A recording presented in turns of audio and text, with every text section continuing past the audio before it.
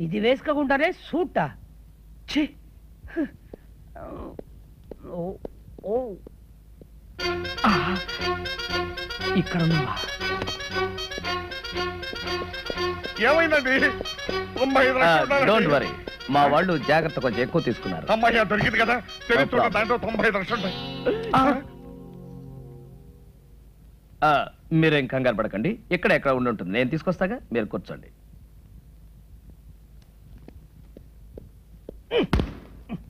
ఎవరు చూడలేదు. ఆ, మీ రిసిప్ట్ కింద పడిపోయిందండి. రసీదు కింద పడిపోయిందా? అరే. తీటి తీటి ఏ, ఎక్కడ?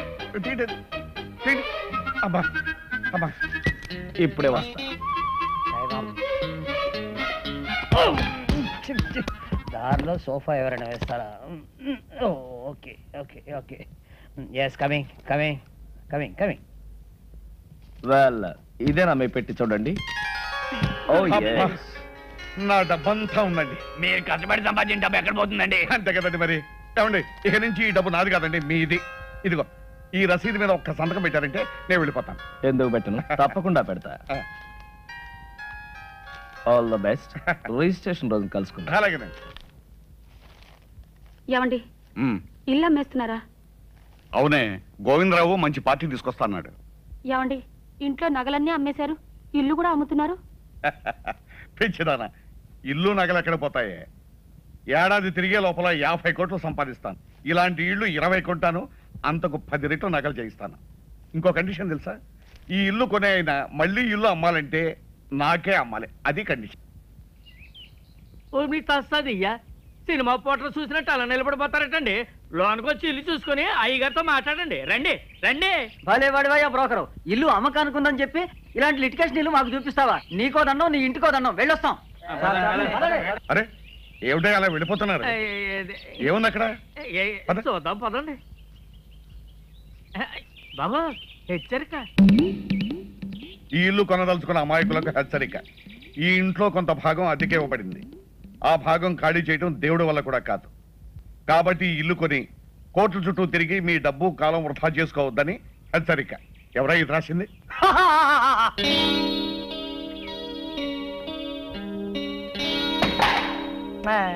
దయచేయండి బాబు దయచేయండి. కూకండి కూకండి.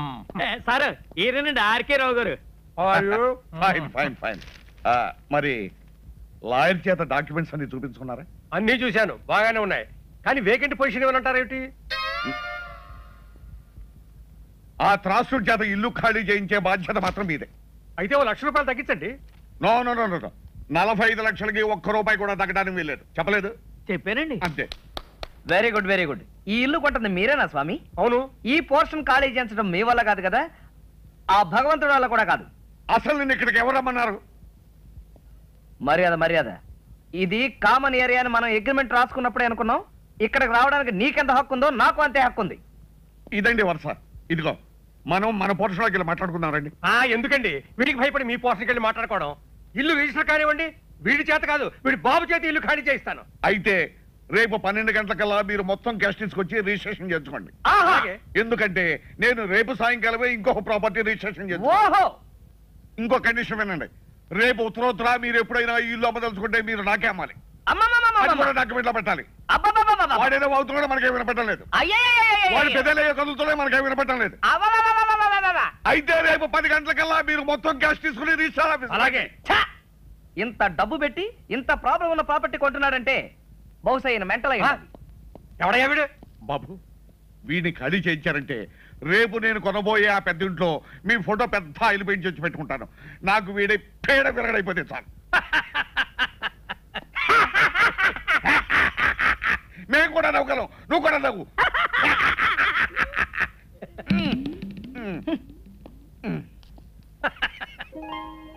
ఏమిటి నాన్న చూస్తున్నావు? అబ్బా బంగళా బ్రహ్మాండంగా ఉందిరా ఎవడు కట్టాడో గాని. తాపీ మేస్త్రి ఎవడైతే ఏం గాని? ఇదిగో పానకాల స్వామి ఇల్లు కొనడానికి ఇచ్చిన అడ్వాన్స్ కోటి రూపాయలు. ఈ డబ్బు తీసుకెళ్ళి మన ఇల్లు కొని. చూసావురా లక్ష్మి చెంచలమని చేతులు మారుతూ ఇక్కడిక్కడే తిరుగుతోందన్నమాట. ఆ, నాన్న రేపు పానకాల స్వామి రిజిస్టార్ ఆఫీస్కి వస్తాడు. బాగా ఆలస్యం చేసి రిజిస్టార్ వెళ్ళిపోయిన తర్వాత రావాలి. మర్చిపోకు. ఎందుకురా? మన రిజిస్ట్రేషన్ అయిపోతుంది. వాడి రిజిస్ట్రేషన్ కాకూడదు. అంతే కదా? నాకు వదిలే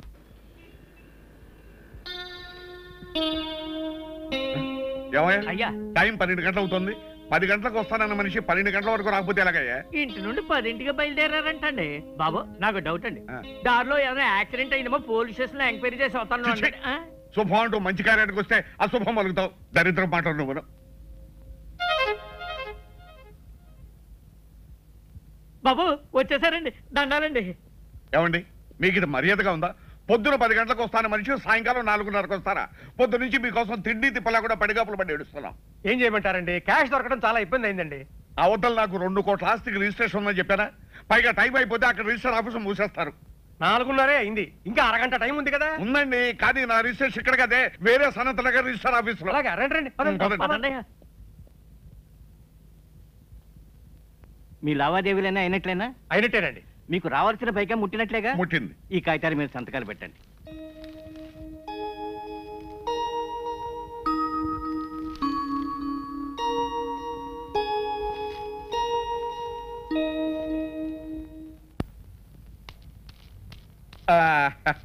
వచ్చేసామండి. ఏం పానకాలు గారు ఇంత ఆలస్యం ఆ చేశారు త్రాసుడు ఆలస్యం చేశాయండి అందుకని ఆలస్యమైంది ఆ, ఇదిగోనండి మీకు రావాల్సిన డబ్బు. ఇదిగో తీసుకోండి. మరి రిజిస్ట్రేషన్. ఆ, ఆలస్యమైంది కదా ఎందుకైనా మంచిది ఫోన్ చేయండి. అలాగే నేను ఫోన్ చేస్తాను.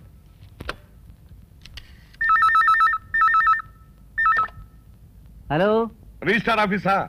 నేను పానకాల స్వామి మాట్లాడుతున్నాను. ఒక్కసారి రిజిస్టార్ గారిని మాట్లాడమనండి రిజిస్ట్రార్ గారా? లేరండి. ఇవాళ రిజిస్ట్రేషన్ లేదని మీ వాళ్ళు ఎవరో ఫోన్ చేస్తే వరంగల్ వెళ్ళారు. రేపు ప్రొద్దుటే వస్తారు. చంపా కదటయ్యా. ఆ, ఏమైంది? ఏం చెప్పంటారండి ఇవాళ రిజిస్ట్రేషన్ లేదనుకుని రిజిస్టార్ గారు వరంగల్ వెళ్ళారట. ఆ, మీకు అభ్యంతరం లేకపోతే రేపు పెట్టుకుందాం. అయ్యో కుదరదండి. అయ్యగారు రాత్రి తొమ్మిది గంటలకు సింగపూర్ వెళ్తున్నారండి. ఆ, ఒక్కరోజే కదండి. ఇంపాసిబుల్ బట్ నో ప్రాబ్లం ఆ. డాక్యుమెంట్స్ అన్ని ఇప్పుడు సంతకం పెట్టేస్తాను. ప్యాలెస్ మీకు హ్యాండ్ ఓవర్ చేయమని చెప్తాను. నెక్స్ట్ మండే వచ్చినప్పుడు రిజిస్ట్రేషన్ అలాగే అలాగే అలాగే. నెక్స్ట్ మండే మాత్రం తప్పకుండా రావాలి. డెఫినెట్లీ ఇదా కాగితాలు.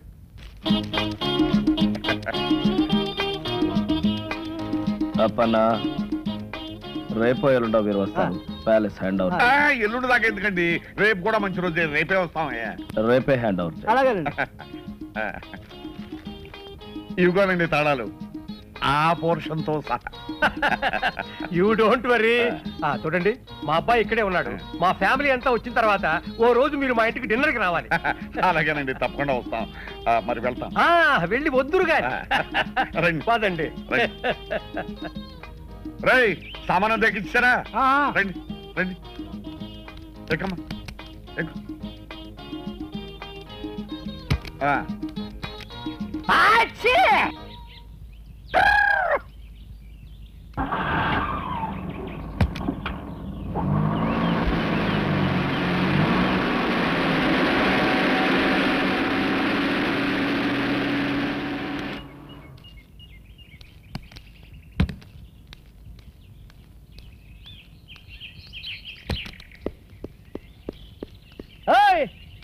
ఆగు. దర్జాగా లోపలికి వెళ్తున్నా ఎవరయ్యా నువ్వు? నేనెవరినా? నేనెవరినో అడిగే ముందు నువ్వెవరో చెప్పు.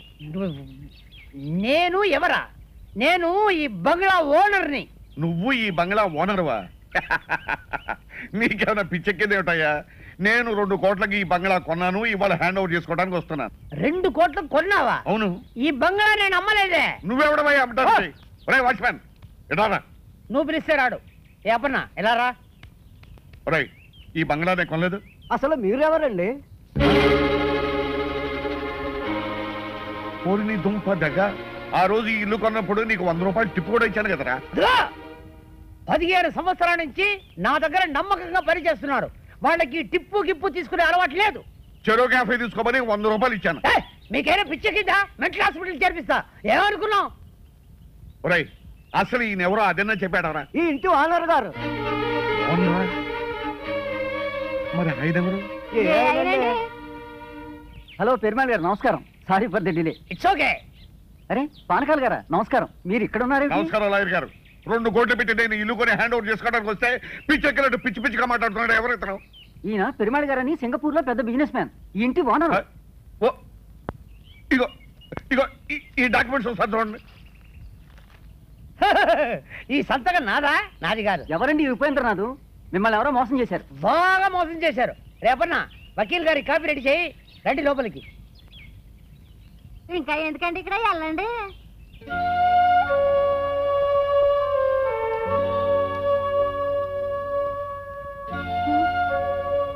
ఏమండి ఏమిటండి ఇది? పూర్వజన్మలో ఏ పాపం చేసుకున్నాము? ఈ గతి పట్టింది. పూర్వ జన్మలో కాదు ఈ జన్మలోనే ఎవరికో ఏదో అన్యాయం చేసుంటాం. ఇప్పుడు శిక్ష అనుభవిస్తున్నాం.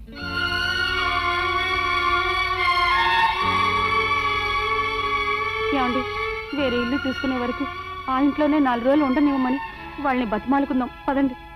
రండి.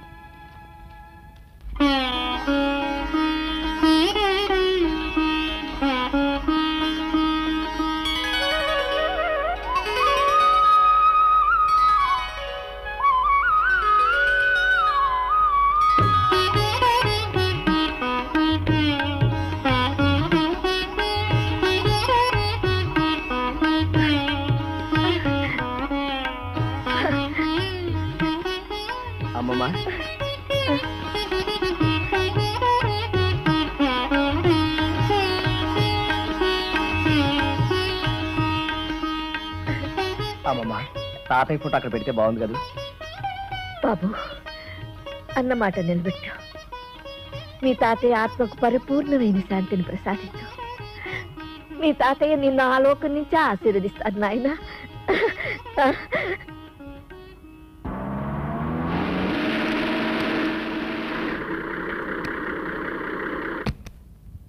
ఆర్కెల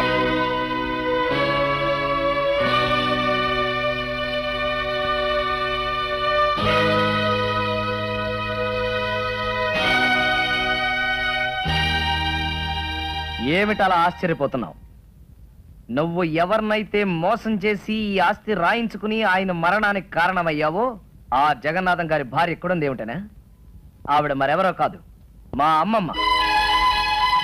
మా నాన్న మా అమ్మ మా శ్రేయోభిలాషి గురుమూర్తి గారు.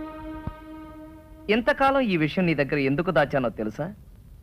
నీ వేలుతో నీ కన్నే పొడిచి నీ ఎత్తుకి పై ఎత్తు వేసి నాటకం వాడి మా ఆస్తి నేను దక్కించుకున్నాను. మా అమ్మమ్మకి అప్పగించాను. ఇంకెక్కడ ఒక్క క్షణం కూడా నిలబడే అర్హత నీకు లేదు.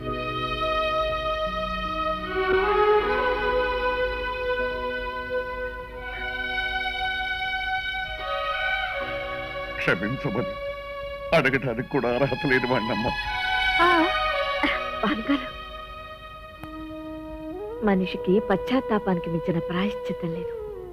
బాబు రవి పానకాల ఆస్తంతా అమ్మించి భార్య బిడ్డలతో సహా వీధిలో నిలబెట్టావు. ఇతను చేసిన పాపానికి వాళ్ళకెందుకు ఆ శిక్ష? బాబు మనకు కావలసింది మీ తాతయ్య గారి కష్టార్జితం ఈ బృందావనం. ఇది మనకి చాలు. అతని డబ్బు అతనికి ఇచ్చే. వద్దమ్మా నాకు ఈ డబ్బు ఆస్తి ఏమీ వద్దు. ఇదిగో నాకున్నది ఒక్కగానొక్క కూతురు. నా కూతుర్ని మీ ఇంటి కోడలుగా చేసుకోమ్మా చాలు. ఇదిగో ఇంతకాలం ఈ బృందావనం మా అమ్మమ్మ ఒక్కరికే అనుకున్నాను. ఇప్పుడు మా అమ్మమ్మ పర్మిషన్ ఇచ్చేసింది కాబట్టి బృందావనమిది అందరిది గోవిందుడు అందరి వాడేలే.